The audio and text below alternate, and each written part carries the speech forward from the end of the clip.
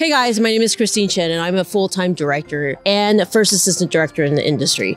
I created this book, Get Reelisms, because I often have to train lots of people on set who do not know what it's like to behave and properly succeed on set. This walks you through what you have to do when you first step foot on set. From practical knowledge, like what you do when you get your walkie, to how we talk on set, this book goes through everything. Check it out, getreelism, getreelisms.com.